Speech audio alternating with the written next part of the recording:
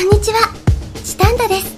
チタンダ L です。チタンダを満足させられる説明がつかない。運動する気はないかどうしてですか？今サトシから妙な噂を聞いたんだ。私